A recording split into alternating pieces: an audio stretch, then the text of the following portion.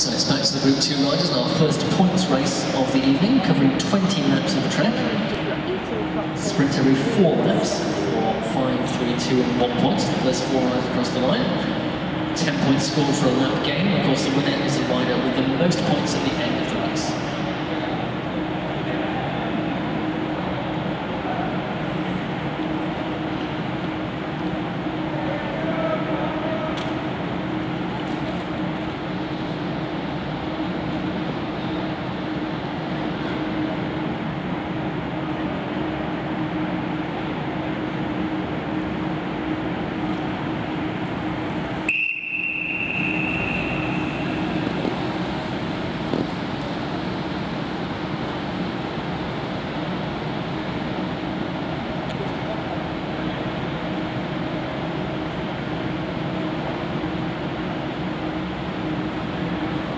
So the sprint lap will be uh, denoted by the sounding of the whistle the lap before.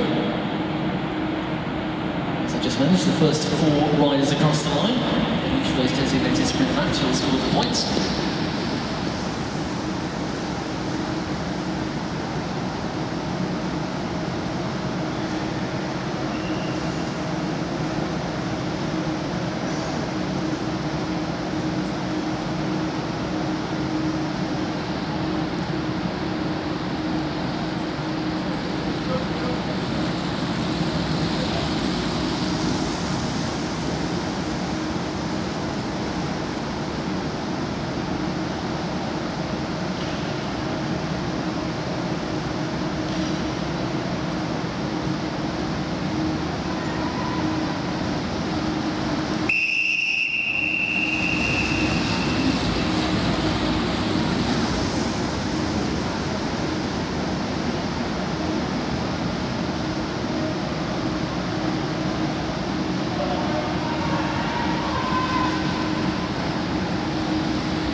So sprinting for the line this time.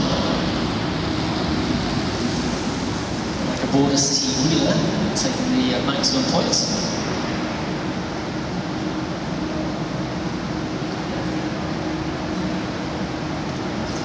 Was indeed Stephen Kirkbride with five, Aaron Adamson with three, Sam Turner two, and Adam Harper with one point.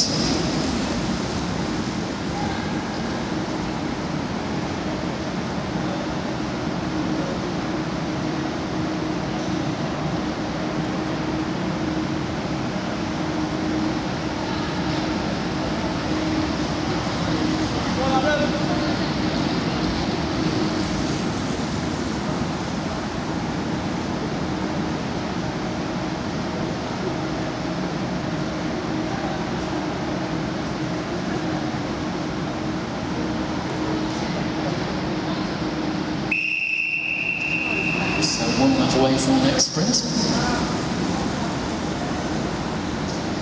Dixon just being overhauled.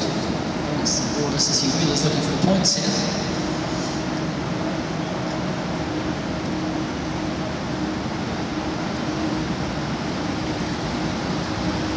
Ellis Kirkbride, next to Family Phone.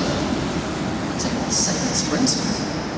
Steve Kirkbride taking the first. So they'll be level on five points each. Yo Kirkbride with five. Crew with three, Dix with two, and Monroe with one point.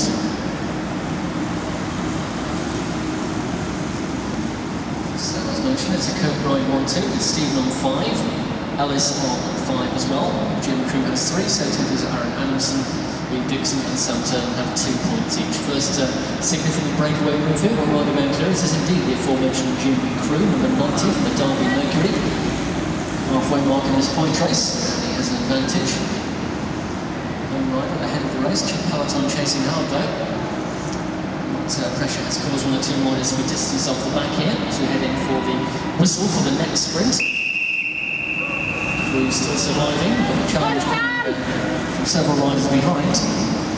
Aaron Adamson, V Sprint, can close that gap in time. 229 Jim Crew, maximum points.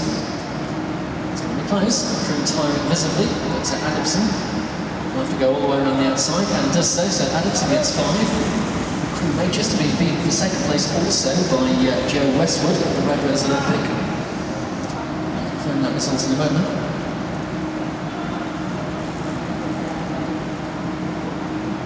Seven laps to go. One Sam.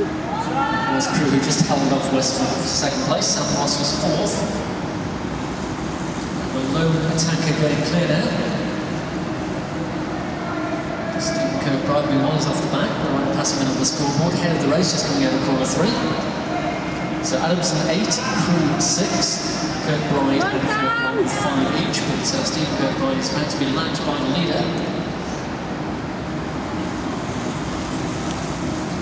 So the damage being done here, riders are spread all over the track now.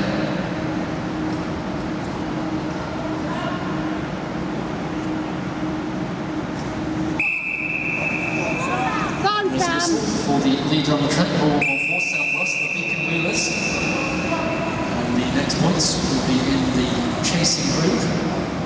That's when that uh, Seismic group catches up with Stephen Kirkbride, who will go one lap down.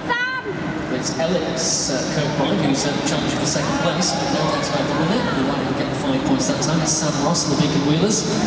And as Kirkbride gets second place. Third place goes to Phil Braber and the Small City Rally.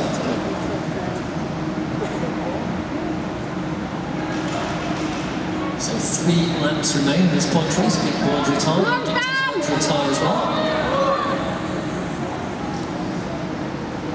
Sam Ross still going well at the front. Now the chase gets organised behind. Adam Hartley of the Velocity Racing Team, proving why that team has the name because he's uh, certainly set up for a great rate of knots in pursuit Come on of the Sam. rider. So Kurt Bastel has the lead, 11 points, but uh, Adamson 11, also on 8. Sam Ross with 6, Jim Crew with 6 as well. Hartley on 2 points, Dixon now is retired.